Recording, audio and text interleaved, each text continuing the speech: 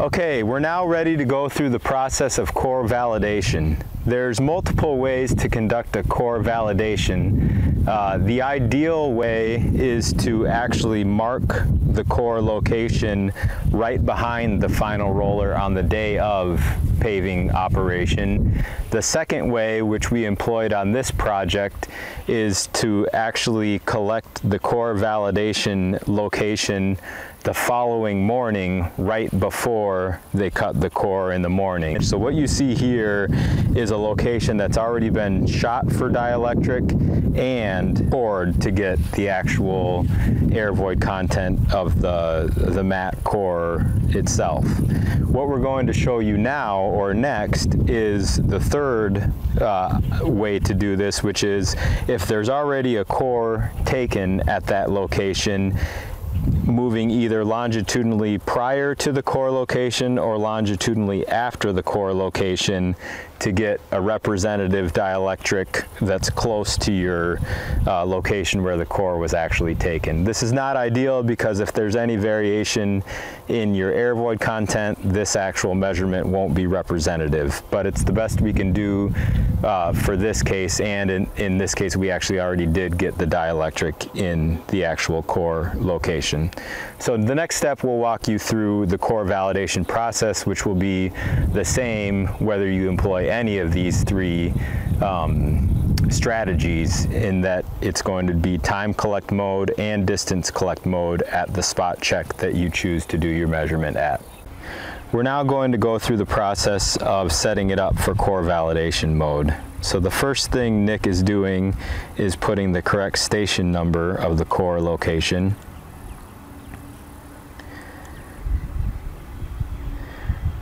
The next thing he'll do is switch from field measurement to core. And at this point, he can go in and give the actual eight foot offset of the core location. And we're ready to go after pressing include with field measurements, we're ready to go into collect. Okay, now that we're into core mode, Nick is going to select the appropriate measurement method. And it doesn't matter which one you start with as long as you keep it consistent.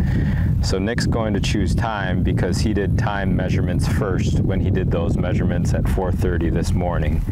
So now Nick's gonna walk the cart up to the first core location which is 27.2 and as soon as that green dot hits the outs or hits the center of the core location he's a little bit off to the right so he's going to adjust the cart to get it at the center of the core location. And now he's got the green dot there.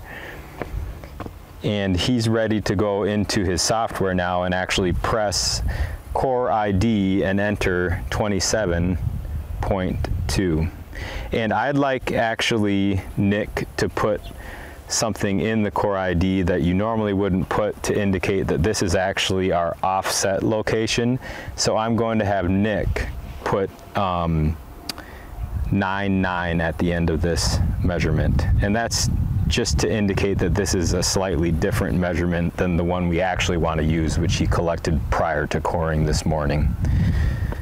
So go ahead and do the measurement, Nick.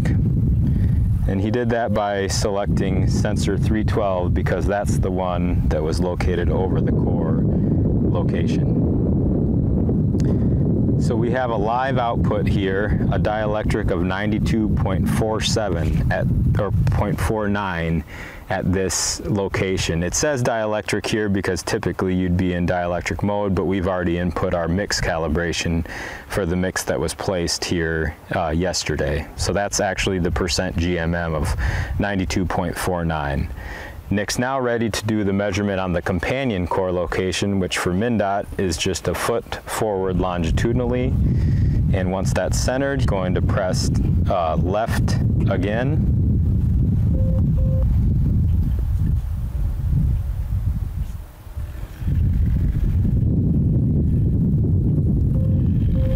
once that's complete, we get a live output here. And we have very close measurement, which is good news because typically longitudinally, you shouldn't have too much variation. And that's the thought process behind why MnDOT does companion cores to check the contractor cores with the agency cores at a similar location. So this core right here should be, when, it, when we get the results back, somewhere around 92.5% uh, air voids. And this is what we do to validate that our calibration is in fact correct. So now Nick is going to bring us into distance mode after saving the time collect mode.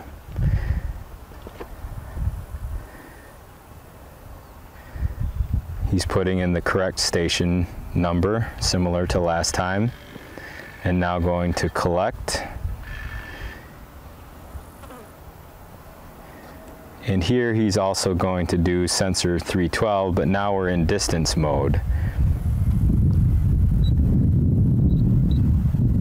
Uh, and actually Nick is going to put 27.299.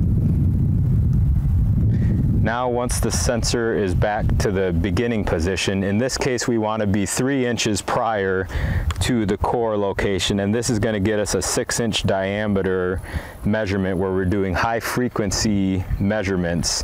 It's still triggered by the DMI but it's getting much more high frequency measurements than what we would normally get on our field collect and this is designed to give us a really highly accurate validation location measurement. So go ahead and press left to indicate that we're doing the measurement with our left sensor and he's going to slowly move it up until it's finished and he got the beep indicating a density of 92.43 and now we're ready to move to the companion location up a little bit more next stop. And he's ready to do his companion core moving slowly and it's done. So by all indications, we're looking at about a 92.5% uh, GMB compaction result at this core location. We'll be able to check that with the results we get later this morning from this core number 27.2. Okay, now that we've finished our core validation measurements, this is a unique case where the cores have actually already been taken. So we actually called back to the lab and got the results of 91.6% compaction. And those values corresponded to the agency, or actually the co contractor core at 27.2. So we're gonna go back and review our results to see how they compare.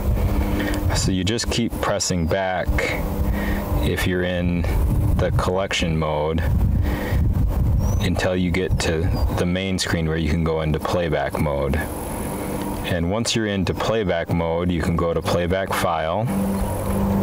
And to get to our core measurements, we actually go into project info core measurements and here you see it's nicely saved at a table here where we have our three di different 97.2 cores.